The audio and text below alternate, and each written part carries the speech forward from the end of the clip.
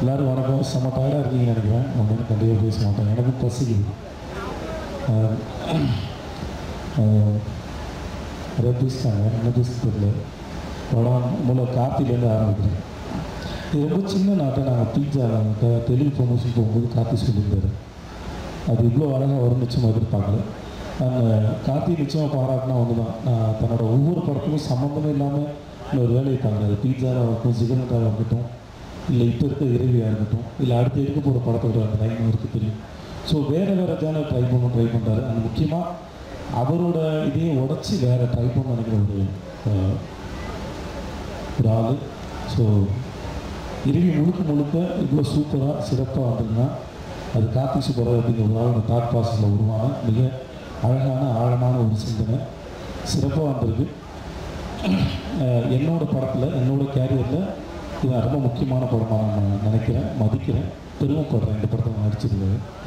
And uh, என்னோடய co artist முக்கியமாக சொல்லணும் எஜே சுதா சார் பற்றி சொன்னாங்க uh, இவர் படங்களில் பார்த்து இந்த மனுஷன் என்ன மாதிரியான மனுஷனாக இருப்பாப்புன்னு எனக்குள்ள ஒரு ரஃபாக ஒரு இமேஜ் இருந்தது. இந்த மாதிரியான இப்படி இருப்பார் அப்படின்னு நினச்சோம். ஆனால் நிச்சயமாக அப்படி இல்லை எல்லாத்தையும் தூக்கி ஓரம் வச்சுட்டு வேறு ஒரு ஆள் மனுஷனாக வந்தார்.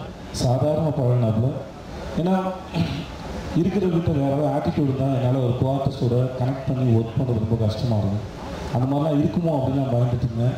அவர் ரொம்ப சிம்பிளாகவும் சாதாரணமாகவும் ஒரு சீனுக்கு நான் ஏற்கனவே நாலு படம் டைரக்ட் பண்ணியிருக்கேன் அந்த மாதிரி எந்த ஆட்டிடியூடும் இல்லாமல் சினிமா புதுசாக வந்த நடிகர் மாதிரி நடந்துட்டாரு அது வந்து எங்களுக்கு பெரிய அளவு சப்போர்ட் பண்ணிச்சு. மனதளவில் அது வந்து அவருடைய பெருந்தன்மை. இப்போ நல்ல பாபி அண்ட் கர்ணா அவங்களோட ஒர்க் பண்ணுறது எங்களுக்கு ஏற்கனவே இருக்க டைமிங் அதெல்லாமே பர்ஃபெக்டாக இருந்தது. ஈகோ எல்லாம் எதுவுமே கிடையாது. அந்த படத்தில் அடுத்து நடிச்சிருக்க அஞ்சலி பூஜா கமாலி அந்த கதாபாத்திரங்களோட சாய்ஸஸ் வந்து அவங்க வந்து அவங்க பர்ஃபெக்டாக பண்ணியிருக்காங்க. அது படத்தில் பார்க்க உங்களுக்கு அழகாக வெளிப்படும் ஸோ அந்த ரெண்டு குழந்தைங்க அப்புறம் சந்தோஷோட இசை. ஸோ ஓவராலாக இந்த படம் நான் இன்னும் படத்தை பார்க்கல. டப்பிங் எப்போ என் போஸ்ட் மட்டும் தான் பார்த்தேன். எனக்கு இந்த டெய்லர் டீச்சரும் படத்தை பார்க்கணும் ஆர்வத்தை ஏற்படுத்துது. கண்டிப்பாக இந்த படத்தை நான் பார்க்க ஆர்வப்படுறேன் வந்து நான் இருக்கும் நன்றி. Thank you thank you